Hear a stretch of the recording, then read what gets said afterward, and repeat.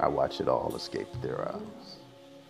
All hope, all standing memories of the good times evaporate from their faces.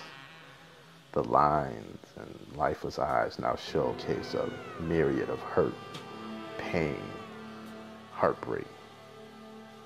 This is the portrait I've grown accustomed to. It still breaks my own heart to read those changed faces. Not being desensitized at least helps me feel human still. Time heals all wounds, they say. But what exactly do they know? They seem to never take into account the ripple effects that happen. And not everyone is built to bounce back so quickly, unfortunately. Some people, instead of healing, find means to do something stupid. stupid.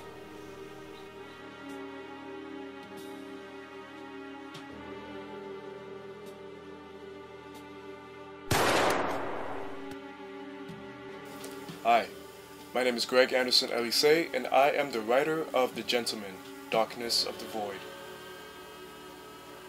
Spinning off from Evoluzione's SFC comics line, Darkness of the Void follows the character of the gentleman Oliver Solomon in a Lovecraftian and inspired horror noir story about the haunting ghosts from the past along with the ghosts from the forthcoming future.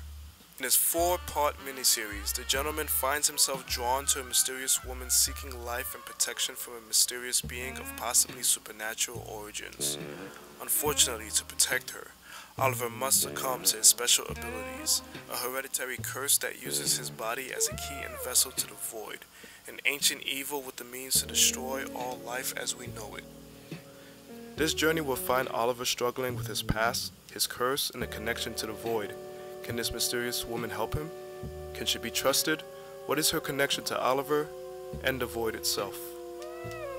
I'm deeply honored to have been approached by creator Marcel Dupree. I find this character to be both a challenge and refreshing for me to write and develop, especially with the prospect of exploring and tackling black characters in such a horror noir fantasy setting. With art by Massimiliano Veltri and Marco Pagnotta. On behalf of the whole team, we at Evoluzione Publishing hope that you're willing to take this dark and surreal journey with us. Thank you.